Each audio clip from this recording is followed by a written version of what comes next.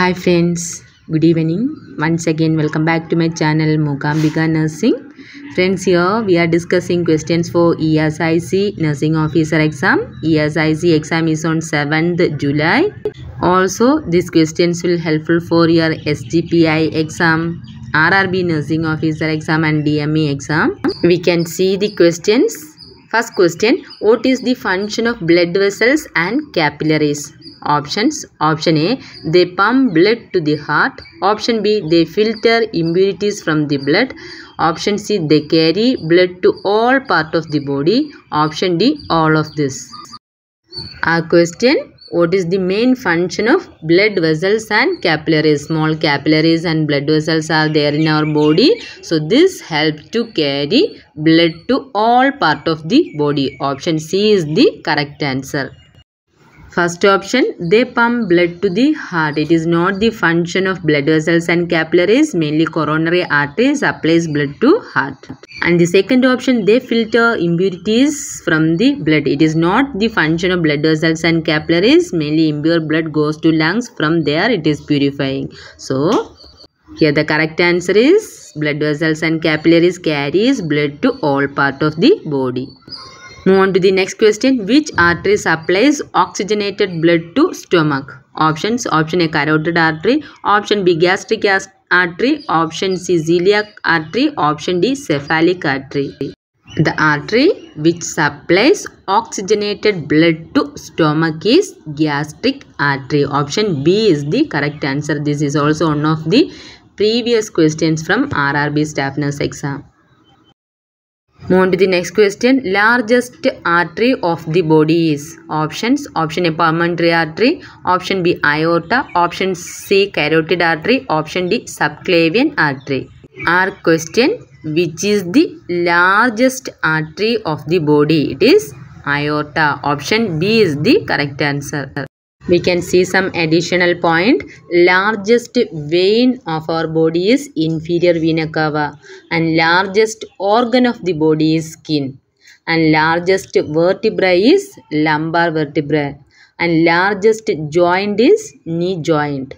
And largest type of immunoglobulin is IgM and largest papillae of the body is vallate largest cranial nerve is trigeminal nerve and largest serous membrane of the body is peritoneum and largest blood cells is leukocytes and largest part of the brain is cerebrum and largest gland is liver. This is some additional points.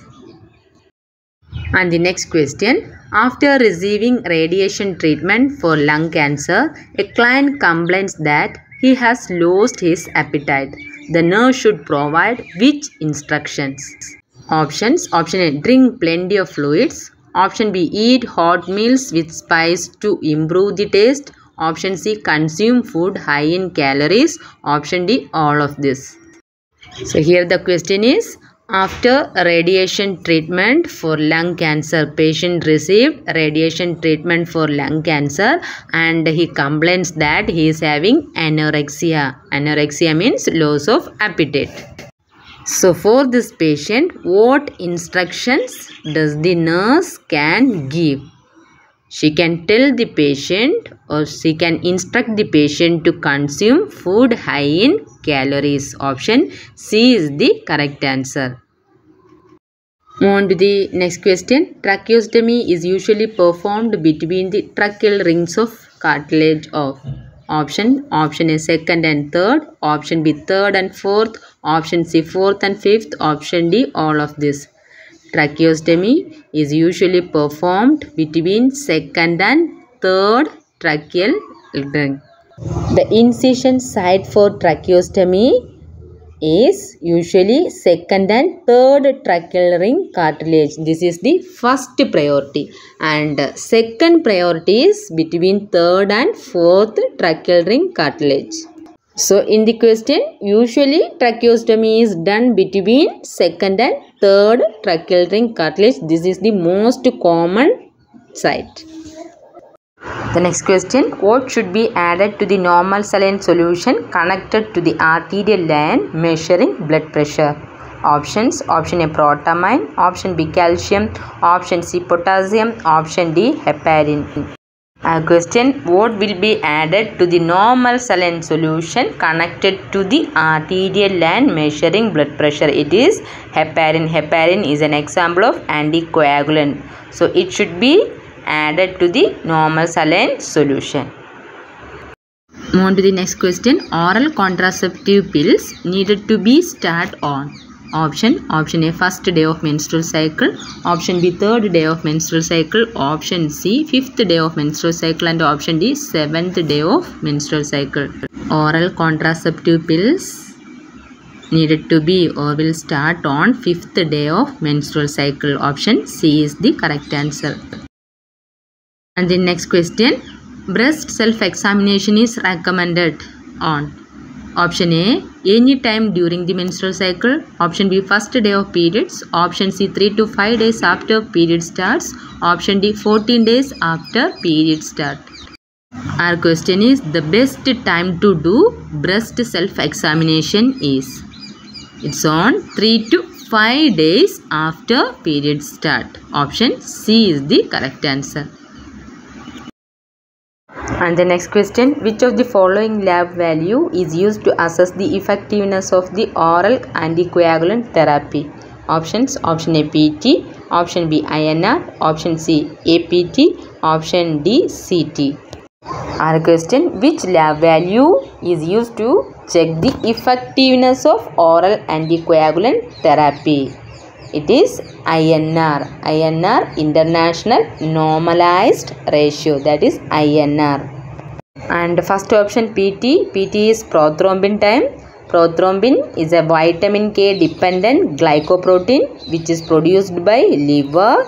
This prothrombin measures the amount of time taken in second for clot formation and also this is used to monitor, monitor the response to warfarin sodium therapy.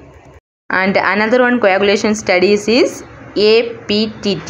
APTT means activated partial thromboplastin time. This is usually monitor used to monitor heparin therapy and also screen for coagulation disorder. Then last option clotting time. CT is clotting time. Normal clotting time is 8 to 15 minutes. Move to the next question. Which is the thickest layer of uterus? Options. Option A endometrium. Option B myometrium. Option C perimetrium. Option C exometrium. Our question. Which layer is the thickest layer of the uterus? It is myometrium. Option B is the correct answer. And the next question, which electrolyte imbalance may occur due to citrate in blood? Options, option A hyperkalemia, option B hypokalemia, option C hypocalcemia, option D hypomagnesemia. The electrolyte imbalance occurs in citrate toxicity is hypocalcemia. Option C is the correct answer. The next question How many times a baby should pass urine during phototherapy? Options Option A 2 to 4 times a day, Option B 5 to 7 times a day, Option C 7 to 9 times a day, Option D 10 to 15 times a day. Question During the time of phototherapy, a baby should pass urine in a day. Per day, how many times baby should pass urine?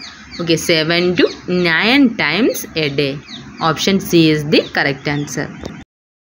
And the next question. The commonest drug which is administered during an anaphylactic reaction is options. Option A antibiotics. Option B epinephrine. Option C steroids. Option D diuretics. Our question. During the time of anaphylactic or allergic reaction which is the commonest drug usually given to the patient. It is adrenaline or epinephrine. Here epinephrine is there. So that is the correct answer. Suppose adrenaline is there in your option means that will come correct. And the next question the amount of blood that is ejected from left ventricles in one contraction is called options. Option a cardiac output. Option b stroke volume. Option c preload. Option d afterload. Question is the amount of blood which is ejected from the left ventricle in one contraction. Is called stroke volume and cardiac output? Cardiac output is equal to stroke volume into heart rate.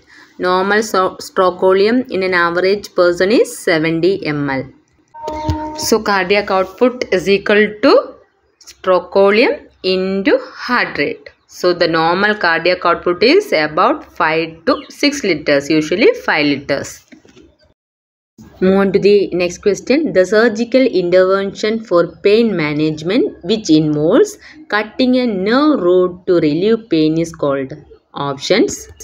Option A chordotomy, option B rhizotomy, option C cardiofrequency ablation, and option D none of this.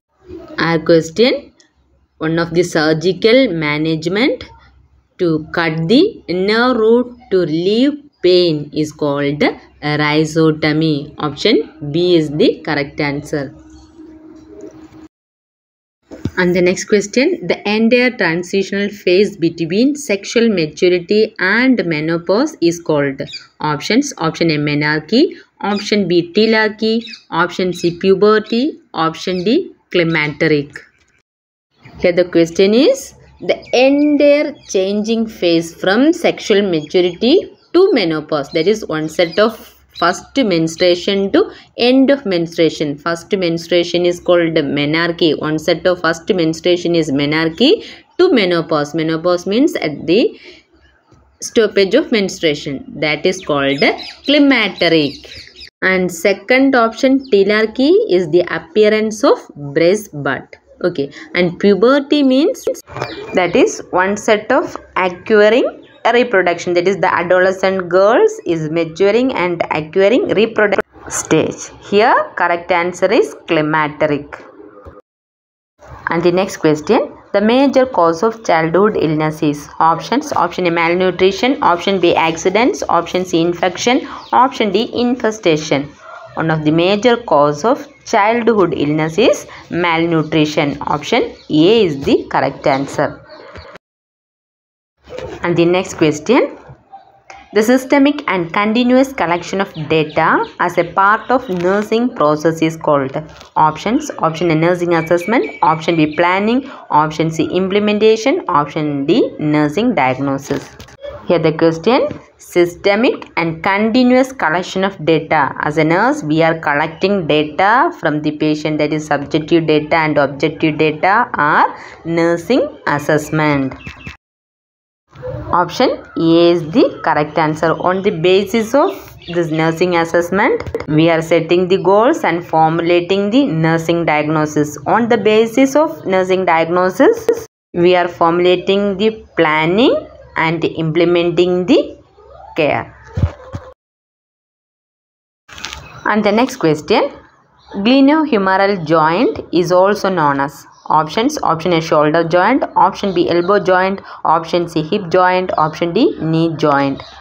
A glenohumeral joint is also known as shoulder joint. Option a is the correct answer and the next question most common type of pelvis in female is options option a platypelloid option b gynecoid option c anthropoid option d android. Question which is the common type of pelvis in female? It is gynecoid pelvis. Option b is the correct answer. So far we discussed questions from previous year question papers also important expected questions.